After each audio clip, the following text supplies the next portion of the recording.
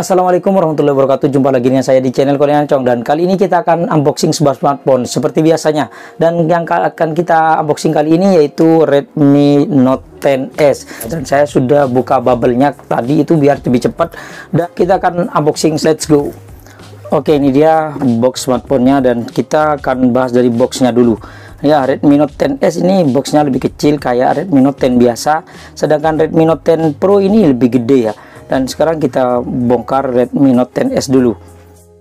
Di dalam boxnya seperti ini kita bisa nemuin smartphone-nya langsung saja kita buka ya.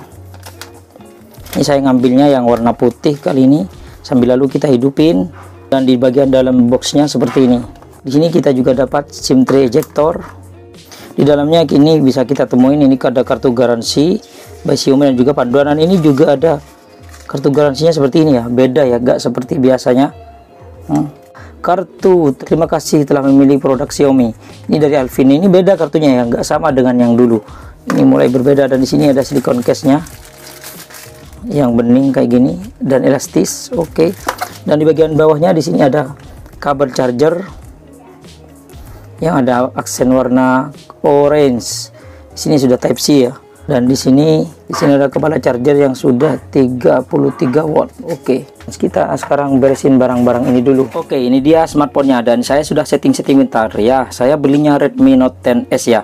Dan saya sebenarnya unboxingnya bareng tapi saya akan bikin videonya berbeda. Karena ya kalau kita buat langsung dua video ini akan memakan waktu lama ya. Dan kalau kita bahas dari bodinya ini yang Redmi Note 10s kok burung? Ini yang Redmi Note 10s ini saya belinya 2.799 saya belinya dari Micom ya atau dari aplikasi Xiaomi nya sendiri. Dan ini kalau kita bahas di bagian belakangnya ini masih menggunakan plastik dan di bagian framenya juga plastik. Dan ini kalau kita bahas layarnya ini layarnya sudah pakai AMOLED yang ukurannya 6,43 inci dan sudah Full HD Plus yaitu 1080 kali 2400 pixel rasionya 20 banding 9 dan dia sudah menggunakan Corning Gorilla Glass 3 ya Corning Gorilla Glass 3 ini untuk kecerahannya ini sudah 450 tapi dia bisa sampai 1100 nit kalau kita lihat di bawah terang matahari ya. Dan kalau sekarang kita tes fingerprintnya cepat ini. Tuh akurasinya bagus dan cepat. Nah tinggal disentuh gini aja sudah kebuka ya. Mantap banget. Dan sekarang kita tes face unlocknya. Kita angkat. Wih mantap ini bisa diketuk dua kali ya berarti ini kalau kita dalam keadaan mati layarnya kayak gini ketuk dua kali untuk hidupin dan kita ketuk dua kali mati. Nah, tapi itu dalam keadaan layar hi, apa masih terkunci. Kalau sudah layarnya kayak gini kebuka dia nggak bisa ketuk dua kali mati ya. Oke sekali lagi kita angkat. Oke lumayan cepat.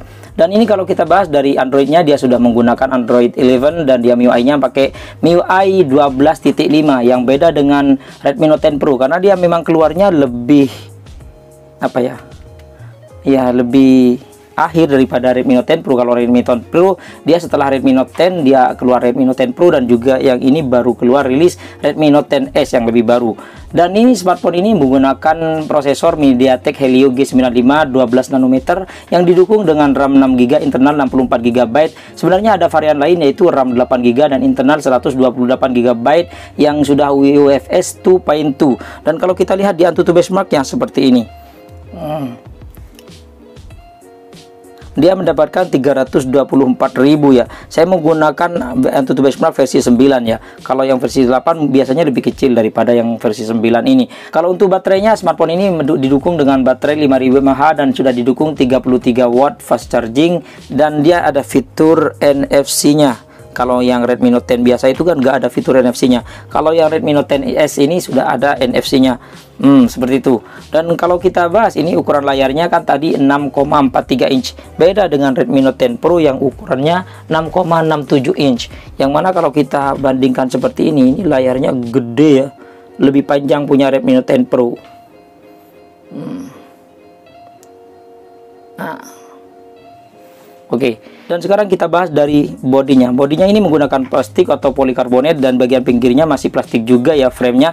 Dan bagian sisi-sisinya kalau kita bahas ini bagian kanannya ini ada tombol volume sekalian beranggap fingerprint dan di sini ada tombol volume up down. Di atasnya ini ada uh, eh, IR blaster dan juga ada ya ini lubang pembantu speaker ya. Speakernya ini dual speaker sudah dual speaker. Biasanya speakernya keluar dari sini tapi dibantu dengan di sini dan di sini juga ada mikrofon ya di sampingnya AR blaster dan di bagian kirinya di sini sudah ada SIM tray-nya yang sudah dedicated mantap untuk bagian sisi bawahnya di sini ada jack audio 3,5 mm, ada mikrofon, ada colokan charger Type C dan di sini ada grill speaker. Jadi grill speakernya ada dua speakernya.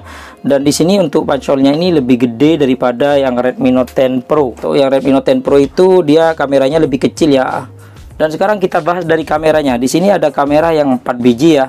Kamera utamanya ini berukuran 64 megapiksel f1.8 wide dan di sini ada kamera ultra wide itu yang berukuran 8 megapiksel aperture f2.2 ultra wide ya. Dan di sini ada kamera 2 megapiksel untuk lensa makro aperture f2.4 dan 2 megapiksel untuk depth sensor yang aperture f2.4 juga. Sedangkan kamera depannya ini dia beresolusi 13 megapiksel aperture f2.5 wide.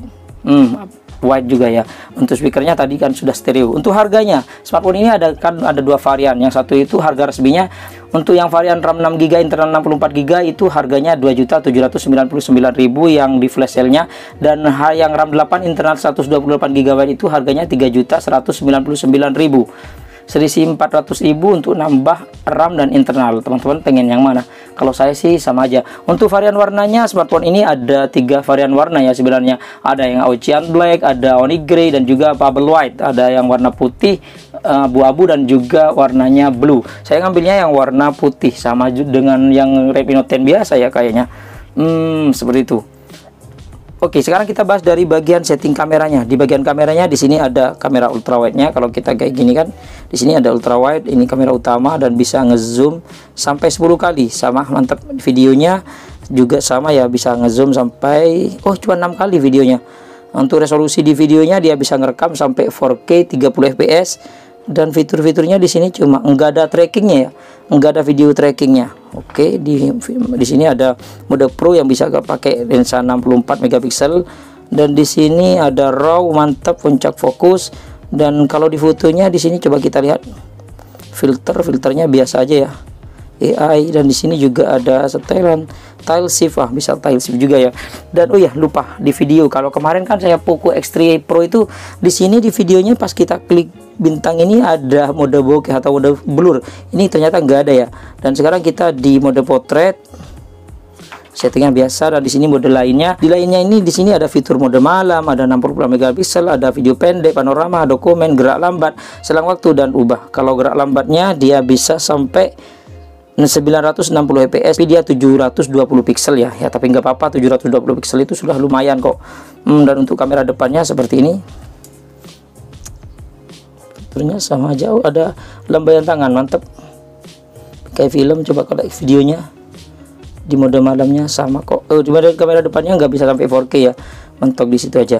Oke, untuk perekaman video dan hasil fotonya kita akan tes di ruangan terbuka. Let's go. Oke, ini dia perekaman kamera belakangnya menggunakan resolusi 1080 1080p 30 fps dan dia bisa ngezoom sampai 6 kali ya. Dan zoomnya lembut amat kayak gini. Dan ya, ini di layar adem banget ya. Dan sekarang kita coba buat lari. Nah, dan ini saya ngerekamnya di 1080p 60 fps. Ini di layar agak goyang ya, bukan stabil. Dan kalau kita putar ke wajah seperti ini.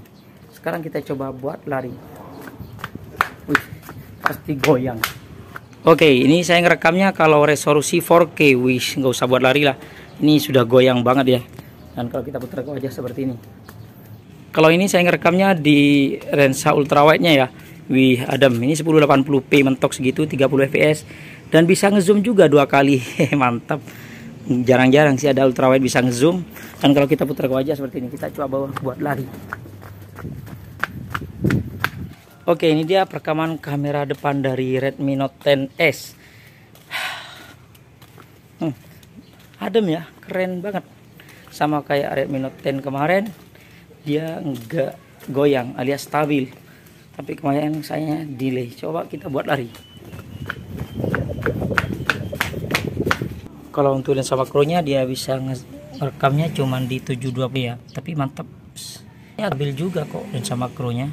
Tapi agak delay gitu ya. Mungkin prosesornya enggak nyanggupin. Nih keren buat video. Sinematik mantap Oke ini dia perekaman kamera belakang dari Redmi Note 10s hmm, ini lumayan ya lumayan terang. Hmm, dan kalau kita putar ke wajah seperti ini. Ini di bawah lampu yang lumayan terang. Oke kalau ini perekaman kamera belakangnya menggunakan lensa ultrawide. Dan agak gelap ya kalau pakai ultrawide nya kalau kita putar ke wajah seperti ini. Oke kalau ini perekaman kamera depannya. Agak gelap ya. Enggak begitu terang. Hmm, kalau di bawah cahaya masih mending kayak gini. Tapi kalau mundur sedikit ya lumayan lah. Hmm, kalau ini lensa makronya ya. Kalau di malam hari kalau lensa utamanya seperti ini jauh banget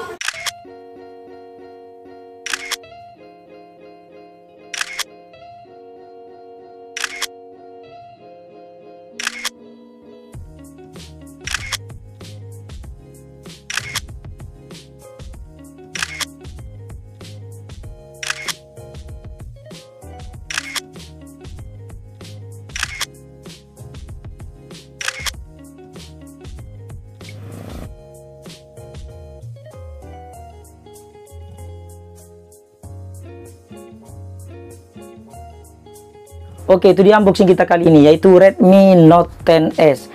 Kalau kita amati si Redmi Note 10s ini mirip dengan Redmi Note 10 biasa. Cuma mungkin bedanya di bagian bam kameranya kalau kita perhatikan itu beda dengan yang Redmi Note 10 biasa. Dan itu yang perbedaan kalau kita lihat sekilas dari bodinya. Kalau yang lain-lain sih mirip daripada bezelnya dan tompelnya ini juga sama sih. Apalagi kalau jeronnya kalau jeronnya sih beda. Mungkin perbedaan jeronnya dari Redmi Note 10s dengan Redmi Note 10 biasa itu ya Redmi Note 10 ini mungkin lebih powerful daripada Redmi Note 10 biasa karena dia sudah menggunakan Helio G95. Yang Helio G90 aja sudah terbukti kan mantap apalagi yang Helio G95. Tapi dia masih 11 nanometer dibanding dengan yang uh, kakaknya yaitu Redmi Note 10 Pro ya.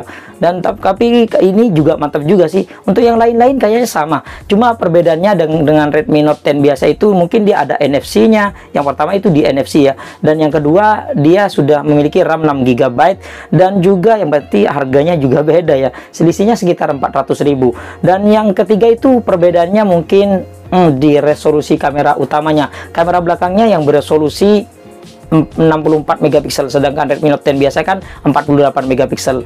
Mungkin itu aja sih perbedaannya yang lain-lain kayak kameranya stabil depan belakang sama mm, sama-sama nggak ada ultra stabilnya sama-sama nggak ada video blurnya bagian depan dan belakangnya. Ya intinya sama. Sa untuk slow motionnya sama sih 960 fps yang lain-lain sama-sama sama Super AMOLED ada sama-sama anda in the always on displaynya sama kok.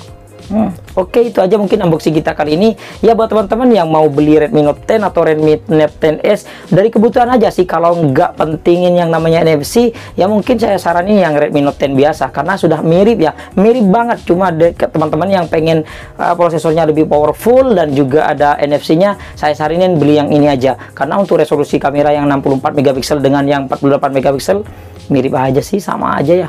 Bedanya sedikit paling cuma resolusinya kalau hasil kan ya tergantung yang kita juga sih yang motretnya. Oke mungkin itu aja unboxing kita kali ini. Terima kasih buat teman-teman yang sudah mampir di channel kami. Jangan lupa yang belum berlangganan silahkan tekan tombol subscribe.